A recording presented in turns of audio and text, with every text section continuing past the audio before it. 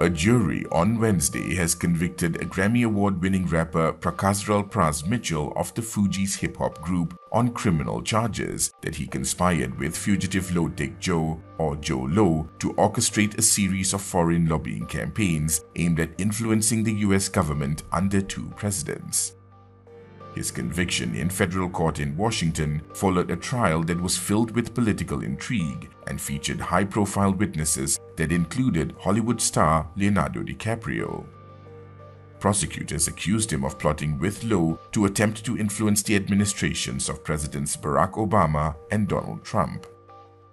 Low, who also faces separate federal charges in New York that he embezzled 4.5 billion US dollars from 1MDB, remains at large.